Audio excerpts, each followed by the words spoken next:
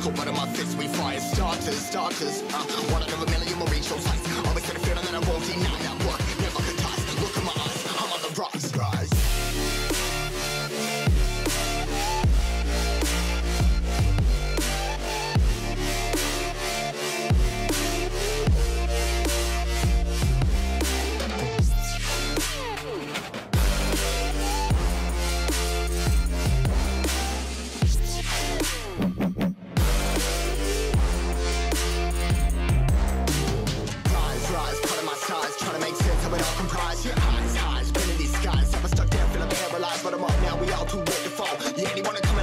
coming,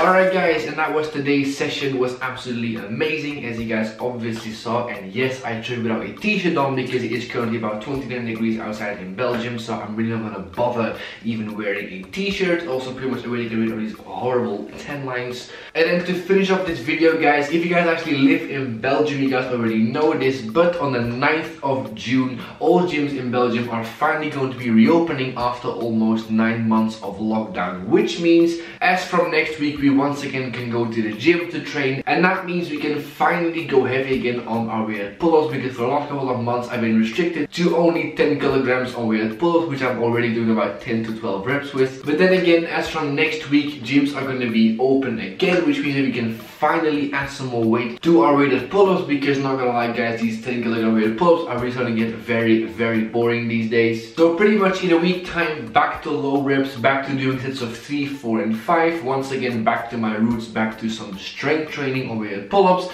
and I can't wait because not gonna lie guys doing any high rep work is not what I really like to do. However little side note I'm actually currently in the midst of my exams right now so I can't really promise you guys that I'm gonna go to the gym right away. However stay tuned for videos in the next coming weeks because yes I'm gonna go back to the gym and yes I'm gonna go and lift some heavy weight on weighted pull-ups build up some strength and hopefully build myself up towards a one or two plate by the end of the summer and that is now going to be the end of the video. By the way i'm actually these days also on instagram and tiktok so links are down below in the description. For now thank you guys for watching. Like and subscribe if you guys haven't already. If you guys have any more questions video ideas or advice let me know down below in the comment section and i'll see you guys in the next video. Laters